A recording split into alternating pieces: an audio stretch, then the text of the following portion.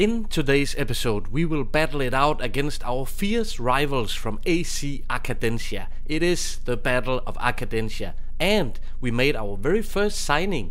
Let the Fenice rise.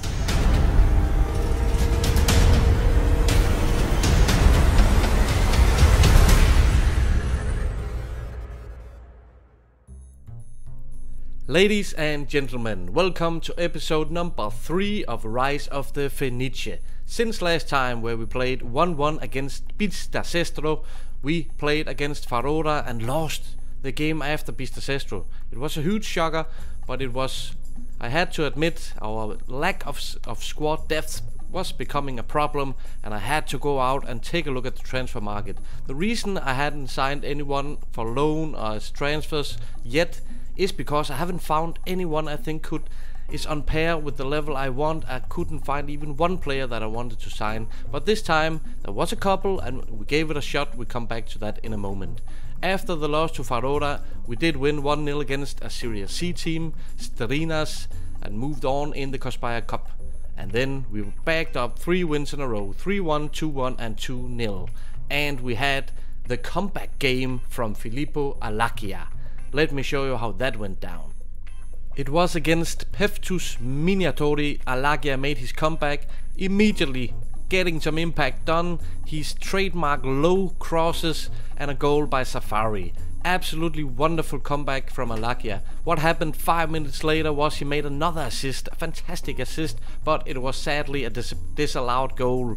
And even more sadly was that in the 83rd minute, Filippo Alagia got injured again.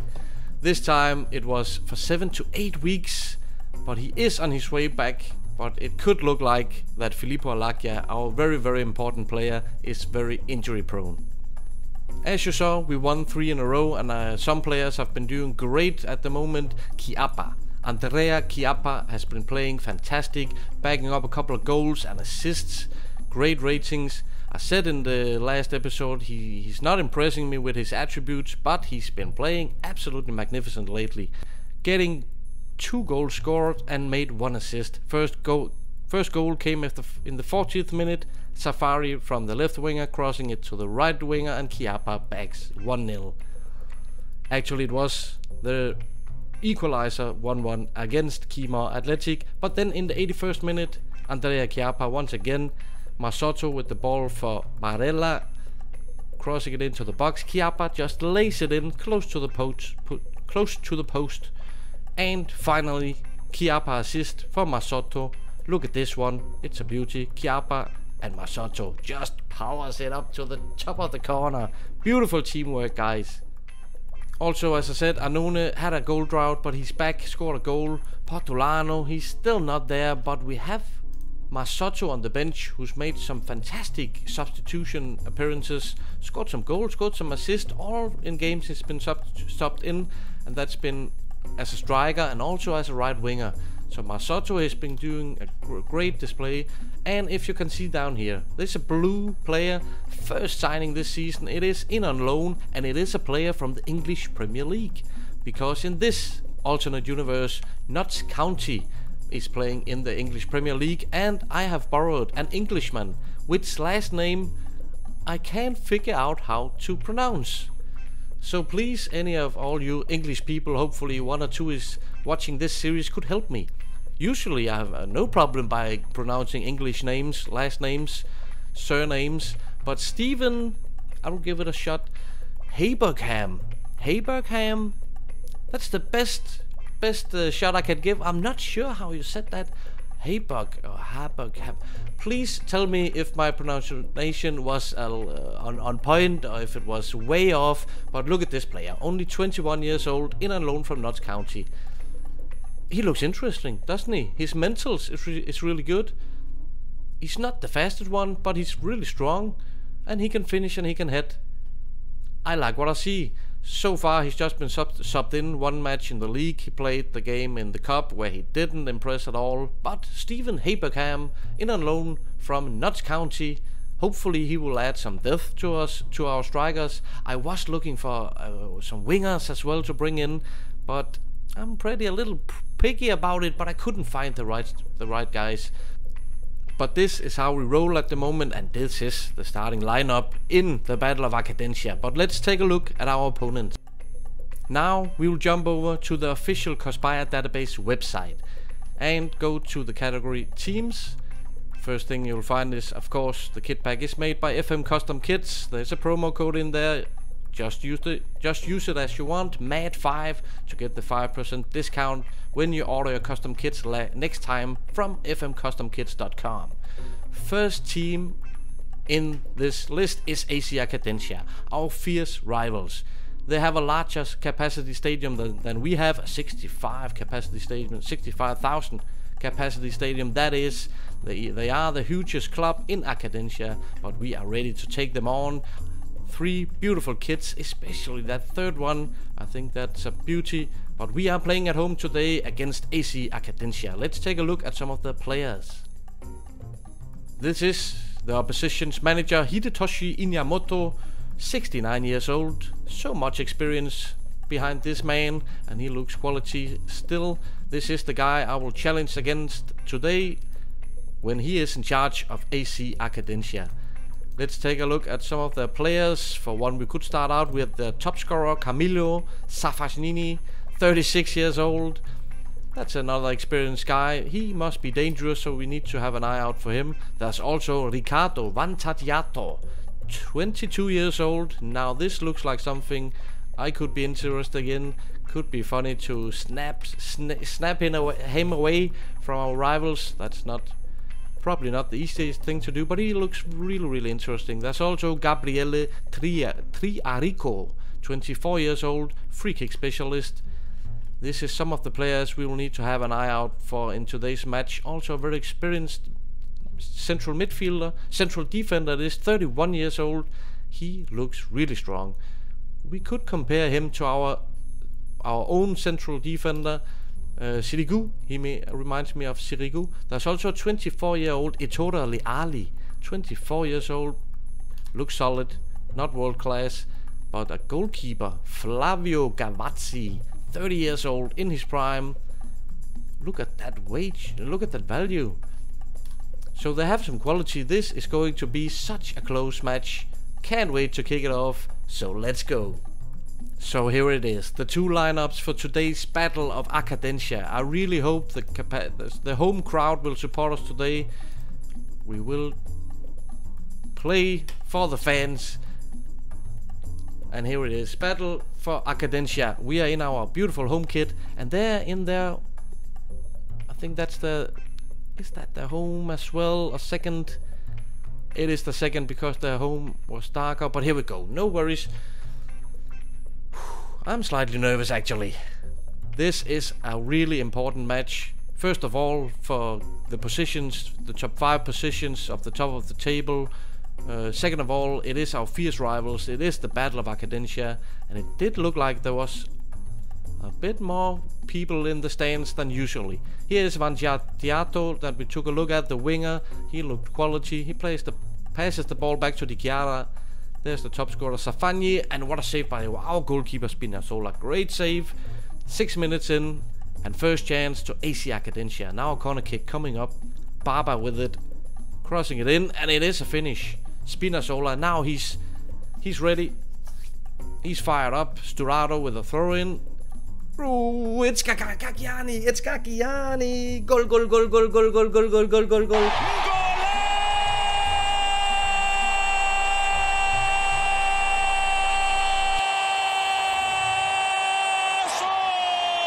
Kiani, that's not the first time this season, scoring the central midfielder, and we are up 1 0 against our rivals. 10 minutes into the game. Look at the, those people in the stands. It's the first time this season so many people has come to the stands to support their home team. Sturaro now with a solid tackle. AC Acadencia still on the ball.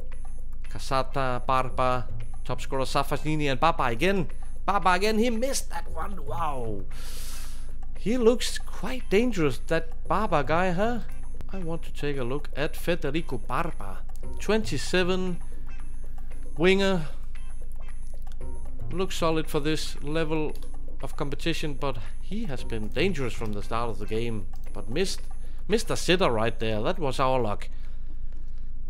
We had had one shot on target, and that was a goal. We have we have been really efficient so far. 20 minutes into the game. In a moment, it is AC Acadencia in control again. Di Chiara finds Contessa. This could be a cross. Get out there. Come on. Great tackle by our, youngster Rossi, but it's still alive. We reject it, we deny it, get it out of there. Okay, great defensive display.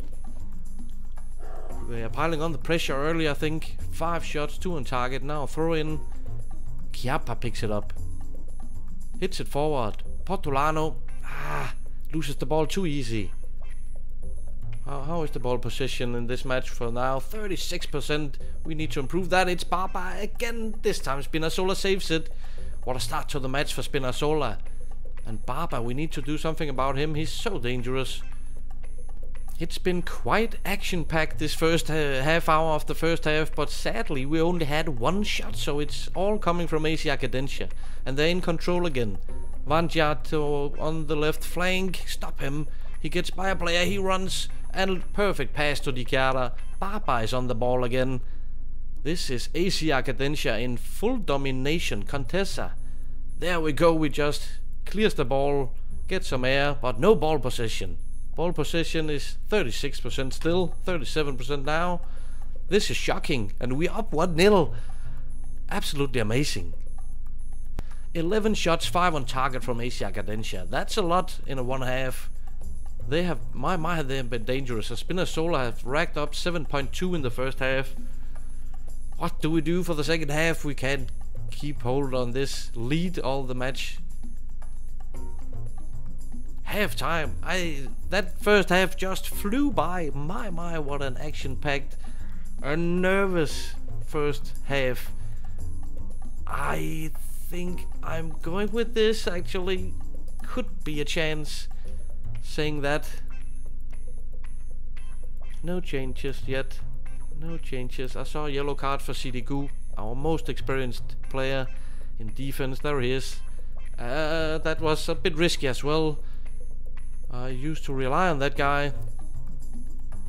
Hopefully we still can. Second half. I'm so much into this game, I'm not missing a second. Checking out the stats, the ball position is better here in the second half. Safari with a corner, goes for the short version. Kapia, Kapia, Safari. Almost got a chance there, almost got a shot on, on target. Still 1-0 to us, I can't believe that. How is that? And Safari's really tired now not playing well today. We haven't had the ball possession, so that's an obvious reason why Safari hasn't played well. Here, AC Acadencia come again. Barba. Stop that guy. Rossi. Rossi again, 18 years old. Look at that left back, and it's Di Chiara from outside the box. Close one. Close one. Okay, let's get Safari out. Just some fresh legs. Some new player in to do something. And Masotto as I showed you earlier, he's been fantastic in the games I've subbed him in yet so far. Only 21 years old, really interesting. And Chiappa has also moved to a winger support. Let's go for this. Actually, Masotto, he's either, either made an assist or a goal in his last three matches we subbed him in. Could he come in and do something? I'm actually happy we don't see any highlights right now. Could we take the three points? This is the first version of the Battle of Acadencia. Who should... Who should... Let's do this. Go for the defend. Uh, and let's get the Englishman in. Haybergham. I'll go me I'm going with Hay Haybergham for now. Please adjust it for me if I'm pronouncing it wrong. Right now it doesn't matter. 20 minutes left of this Battle of Acadencia. 10 minutes. We're going into the last 10 minutes of this match. We're still up 1-0. Believe it or not, here is AC Acadencia in ball possession. We actually... Oh, here they come. I'm just getting so... Ah, what the fuck? Casio Sales. It was too good to be true.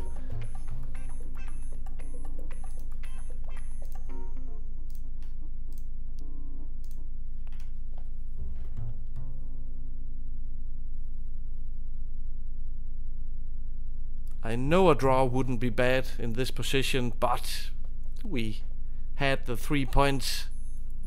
We could touch them, I could feel them.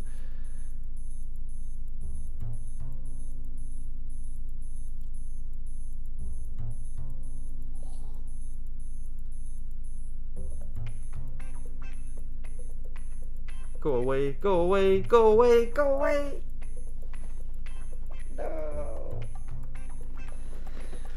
That's unfair. That's fucking unfair. They could, they could have done that earlier in the game. Come on. What's up, Triarico? How how does he get all that room? What happened in defense? One pass from this guy. He had. Vaffanculo.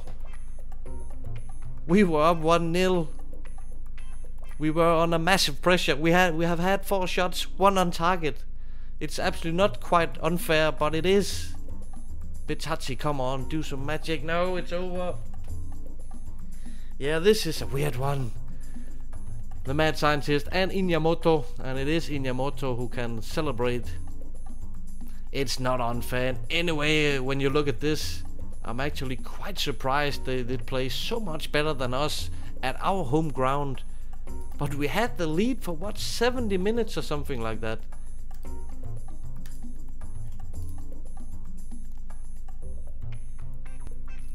We were playing at home at Cupola di Fenice, but we did lose one to two goals.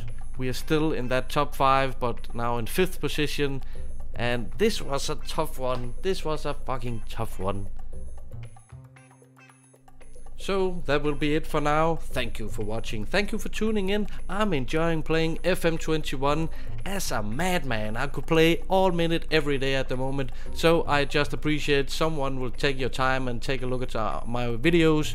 Also go to the official Cospaia database website. There's so much stuff to check out. Maybe get some save ideas. Maybe just check out some amazing kits made by FM Custom Kits or get the database and play it yourself. I'm enjoying it at the moment, even though we just lost the Battle of Arcadentia, but next time. So, you know what to do, you know the YouTube drill, get on it, I'll give you a second, ring the bell, yep, press subscribe, yes, share the video, you know it. I love you guys, peace out, Rise of the Fenice, we will be back stronger like the Phoenix.